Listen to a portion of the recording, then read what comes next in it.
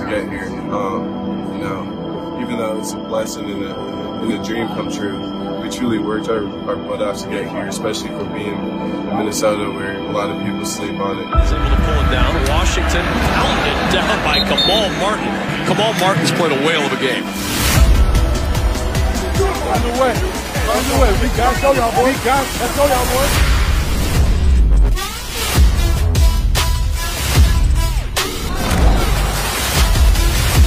Beathard to pass. Blitz comes, throws it, and it's intercepted! Kamal Martin!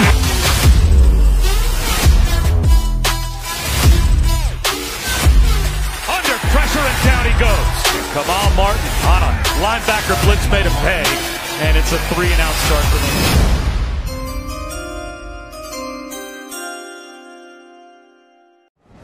Minnesota linebacker Kamal Martin is very good at coming downhill. He explodes towards the full. The only issue is he's tad undersized. Played at about 235 last year for the Gophers, and that could be an issue at the next level. No doubt he has a nose for the ball, and don't be fooled by that size. He's still a tackling machine. That said, he looks a little stiff from time to time when changing directions, and while he can drop, drop into zone coverages, he's not comfortable doing it time and time again. He did miss the end of the Gophers season with an injury and didn't compete in Indianapolis at the Combine, but he should be ready to go once the NFL draft rolls around.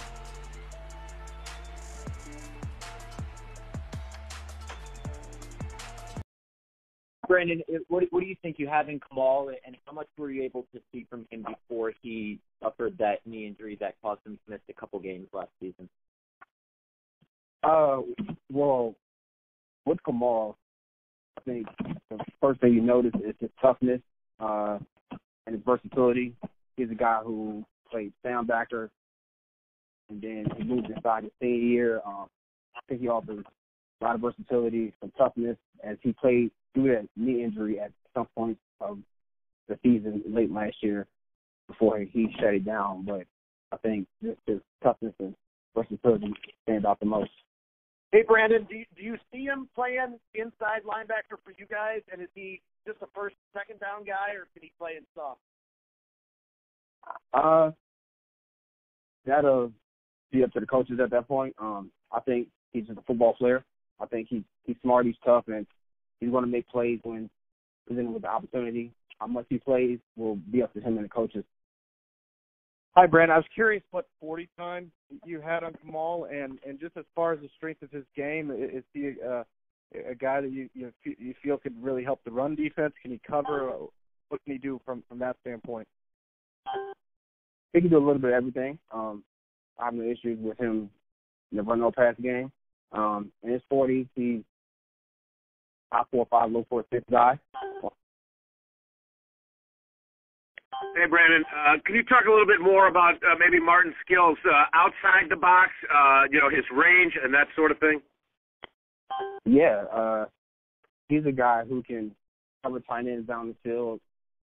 He has some length and size to him, you know, that allows him to be more physical with those bigger tight ends who like to stretch the team. I think he's going to be a guy who, you know, who will give you a, another versatile piece when dealing with those bigger, faster tight ends because his ability to run downfield and play out in space and cover cover backs and tight ends.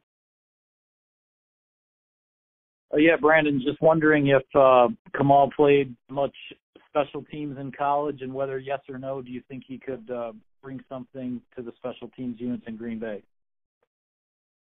He did play special teams in college, um, his first couple years, and he already knows that special teams is going to be a big part of his game to make this team and help this team win. So uh, he's a guy who can do it and who wants to do it.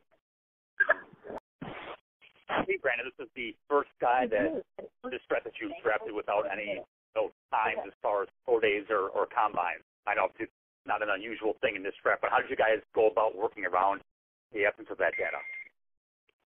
Uh, just constant communication um, with guys in the office and with the area scouts. Uh, those guys, you know, Goody, John Eric, Woj, know, those guys did a great job of just keeping us in the loop and and keeping oh, the community, keeping the okay. community the communication lines wide open for us so that we're able to communicate clearly on what we see and what we think this guy can help us do eventually. But the biggest part was just, I mean, it was wide open communication.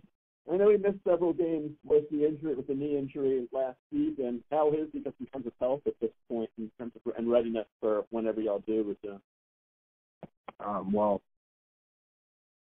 uh, if Duty took him, that means he's ready to go. Um, you know, our staff and Duty do a good job of making sure those guys are are healthy and ready to perform whenever they do return to football. Um, but I, I have no problems with his health and and the way we took him. I don't think the head man does either. Brandon, was there a spot in last season where you guys were able to kind of notice when you felt like the injury might have happened? Uh, point in the season where okay, he's moving like this, and then there's another point in the season where it's clear he's playing through something. Uh, he was playing through something all year, for the most part. Um, I think it was it was a two or three game stretch where he did look healthier, but it wasn't by much. He was still battling through some things, um, but it was it was hard to tell just on tape what games he was really healthy and which ones he wasn't.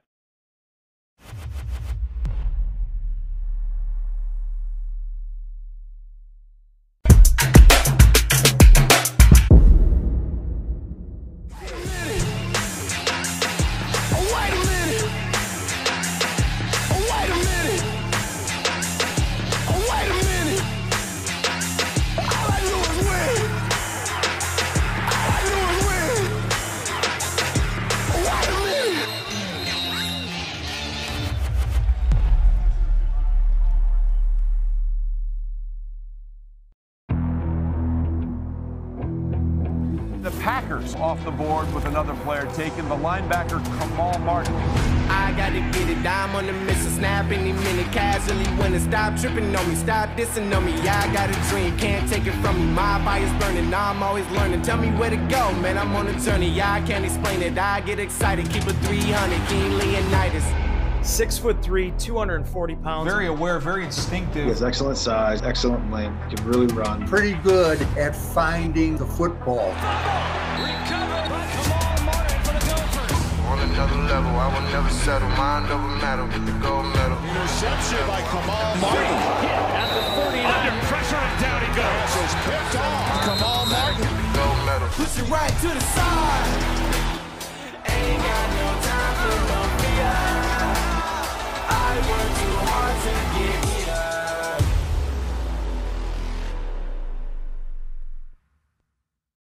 In today's game, the ideal inside linebacker has enough hammer in him to play the run and enough hybrid in him to play the pass. And that brings us to Kamal Martin. His dimensions, 6'3", 240, say big and physical. And more importantly, his tape says he can and will hammer the run. Is it going to get there? It's Kamal Martin. However, Martin was a quarterback and safety in high school. He looks comfortable in space and has enough hybrid in him to cover effectively. Pass is picked off. And Minnesota forces the turnover. As a matter of fact, even when it comes to defeating blockers, Martin uses his athleticism to avoid them. Bottom line, Martin is a player with lots of possibilities who's barely scratched the surface of his potential at inside linebacker. He actually played a lot on the edge at Minnesota, but regardless of where he lined up, there is a constant in Martin's game.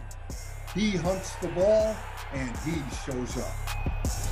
Martin's one of those guys who takes it personal, like it's on him to make the play, every play. Perfect example. Here's Kamal. Ball goes away, and look who shows up on the other sideline to tomahawk it loose. Kamal Martin, a fifth rounder oozing with potential. He has excellent size. He has excellent length. Uh, he can really run. Um, you know, in 2018, I thought, you know, there were some dynamic moments on tape, and you really started to see him develop. Struggled through with some injuries this year, but I think once he starts to get back healthy, which he is now, you'll really start to see that 2018 where he was headed. Yeah, we're excited about him. Interception by Kamal Martin.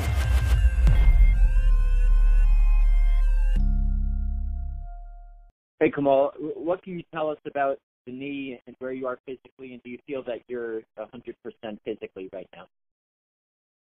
Uh, yeah, the knee the knee's feeling really good. Um, you know, just coming back and rehabbing, and you know, way ahead of where I'm supposed to be. And um, you know, I'm going to be completely fine, 100% fine. And uh, yeah, it's not going to be a big deal at all. What do you consider your strengths as a player that you can contribute to Green Bay this season or in the future? What do you consider your biggest biggest strength? Yeah, so I, I mean, I would consider my biggest strength as uh, you know being able to combine my athletic ability with you know how well I know the defensive side of the game.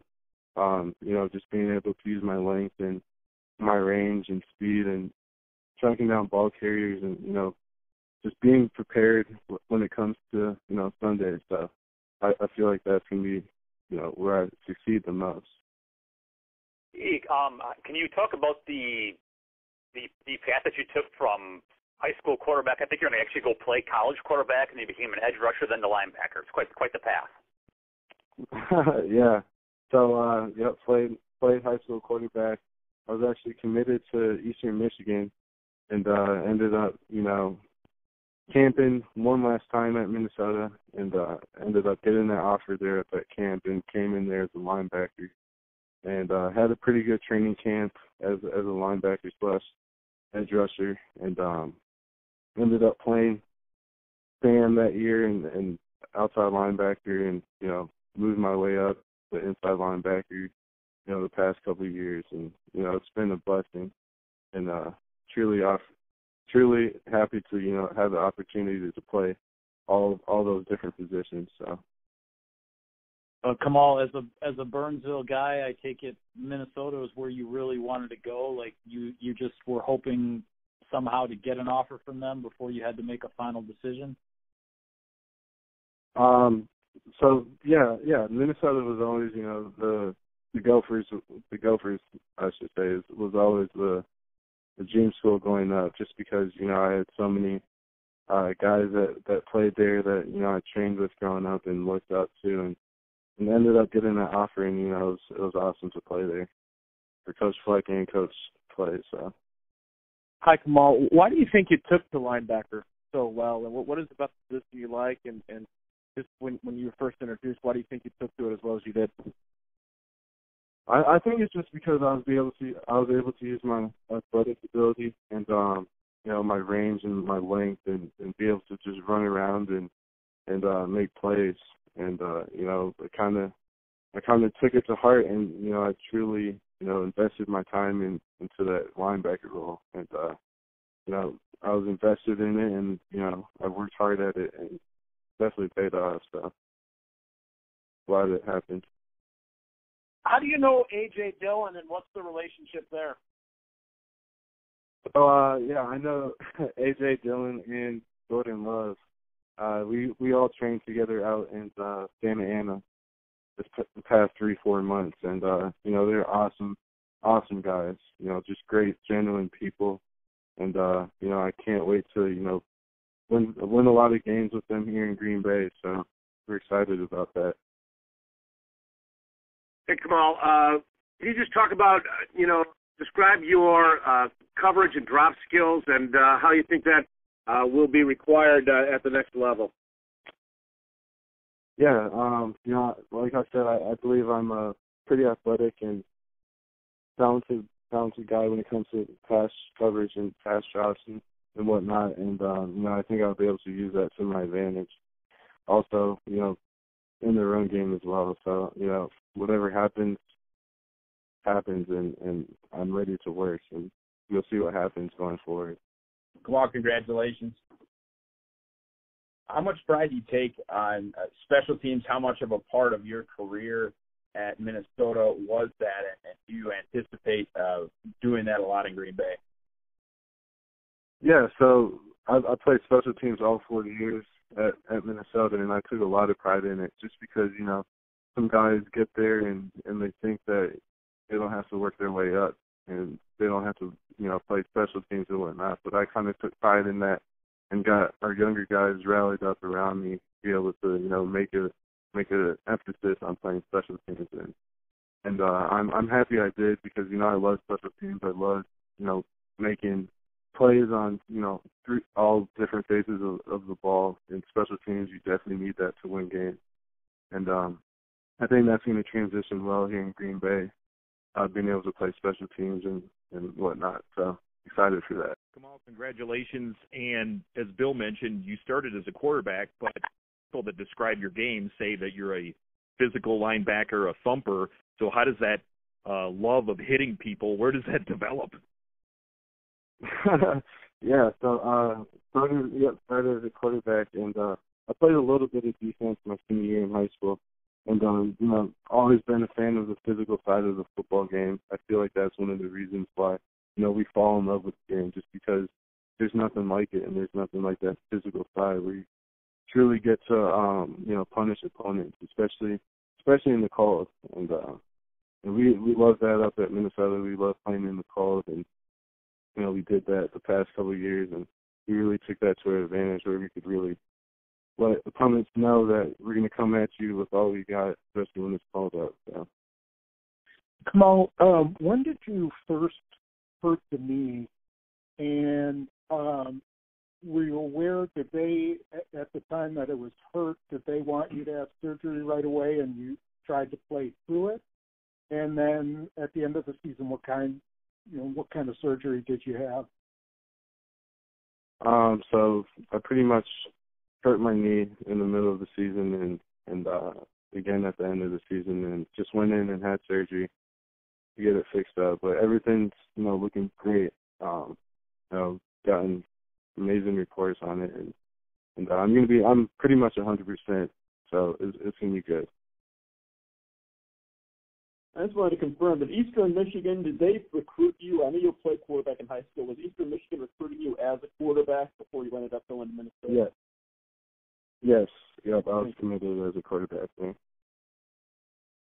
Hey, Kamal, the Packers just drafted um, Jon Runyan from Minnesota, or from Minnesota, geez, from Michigan. Did you go up against him at all, and your thoughts on him if you did go up against him?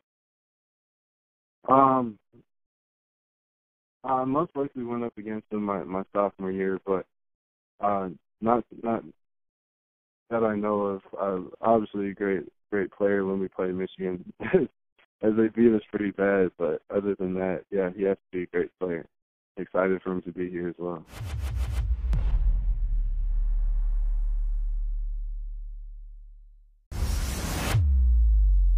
Larry McCarren and Wes Hodkiewicz with an instant react on the Packers selection in the fifth round of the NFL draft. They have chosen Kamal Martin, a linebacker from Minnesota. Wes, what do you have on him? You know, this is a really interesting pick, Larry, for a number of different reasons. One, I know there's been a lot of Packer fans that have wanted the Packers to go get another inside linebacker, and certainly that was a position that they needed to address after both Blake Martinez and BJ Goodson both left during free agency. Certainly, Christian Kirksey fits into that puzzle, but also Martin now is a guy that I think could slide into that BJ Goodson type role and also give them some flexibility on special teams. Six foot three, 240 pounds, a former Mr. Football in the state of Minnesota, had a really nice career for the Gophers. There was a, a knee injury he had this past year that sidelined him. He only played in eight games, but was still downhill and, and get up against the line of scrimmage and really make some plays. My question, Larry, this entire draft process was the Packers knew they needed to get better against the run. Were they going to do it with the defensive tackle or were they going to try to do it with the inside linebacker? Kamal Martin was that guy. Well, you know what, Wes? I think they're going to try to get better against the run by doing it with everybody. It is a team game, especially when it comes to defending the run. Couple things about Kamal. He's got long arms and big hands, 34 inch arms, over 10 inches on the hand size. He's adept at keeping blockers away from his body. He's pretty good at finding the football. Sometimes you can be good at taking on blockers, but you don't get the football, and that's the the end game in the whole thing is finding the football. Pretty good at that. Solid tackler, pretty good zone pass defender. Man, not so much, but pretty good zone pass to defender, and certainly a lot of special teams potential. Anything else on Kamal Wes? Well, in the fifth round, Larry, you're looking for traits, right? We always hear that all the time. I think he gives you some things there to like. And from the get go, he looks like he's going to be able to contribute on special teams. And the thing I like more than anything else is they have options at inside linebacker now. Oren Burks is coming back. If he can stay healthy, he's going to compete for a starting role. Curtis Bolton, you would think, would be you know able to make a return here after that ACL injury that kind of slowed his promise last year. After it looked like he might end up being a starter for that defense. And you know, a guy like Ty Summers has a lot of athleticism, a lot of speed for that position. Some guys that I think are all going to mix into that room with Martin among them to, to compete for some playing time and, and roles on this defense. Thank you, Wes. That's instant react. Packers have three choices coming up in the sixth round. Hope to see you back here then.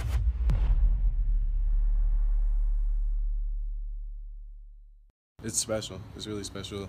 Um, I don't see him as a friend. I see him as a brother. And if blood couldn't make us closer, then I don't know what will. Um, yeah, he's he's definitely a brother to me. I call his parents my parents. He calls my parents his parents, and it's it's fun. It's something special. Something something different that college football could bring you. And it's it's definitely paid off the last four years. Having somebody like that on your side and and someone you can feed off and they can feed off you, it's definitely special.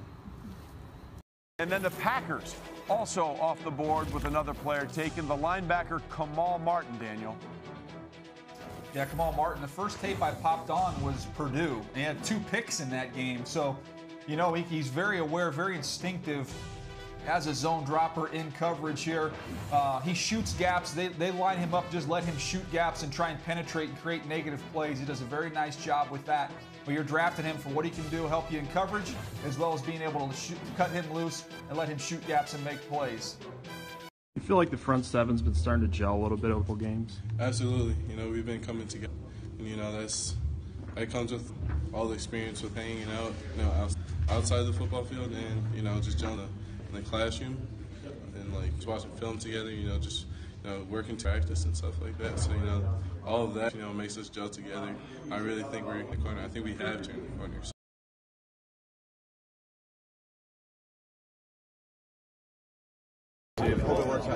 Thank you. Appreciate it.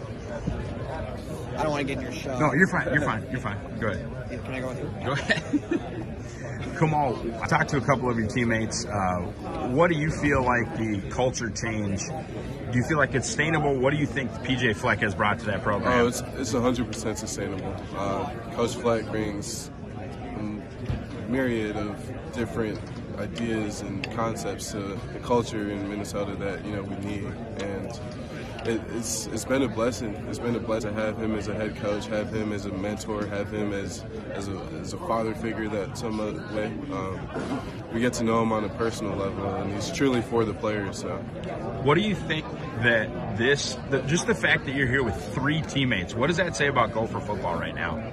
I hope it says a lot. I hope it says a lot. Uh, you know, we worked we worked our butt off to get here. Um, even though it's a blessing and a, and a, dream come true, we truly worked our, our best to get here, especially from being in Minnesota where a lot of people sleep on it. So, you talked just a little bit about Antoine and, and Carter, and then uh, Tyler. Mm-hmm. Yeah, so you know, starting with Carter, you know, this is my best friend, this is my twin brother, so is Antoine and Tyler, but um, he's the effort, the way he works, um, it's it's ridiculous. And you know, we love that kind of energy. Guys matching up to that energy and uh, working as hard as Carter.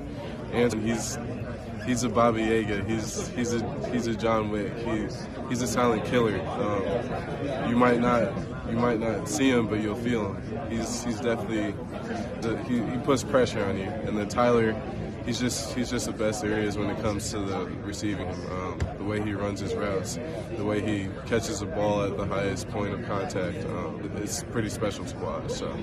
Linebacker in the league now, where you watch and you, you maybe take a little bit from him, or you see yourself in his game. In whose game? Anybody's. Oh, I, yeah. I mean, that's what I'm saying. Yeah, uh, definitely. As I uh, through my throughout my career, I watched um, Luke Kuechly. He was he was he was vicious in the way he approached the game, uh, mentally and physically. You know, he prepared at an extreme rate, and I I do so myself, and I believe that you know I model my game after him. The way he focuses on the little things and details and what. Had a chance to speak to Green Bay. I, I spoke to Green Bay, so how'd that go? It went really well. Um, you know, watched film and whatnot with coach, and, and things went pretty well. Thank you.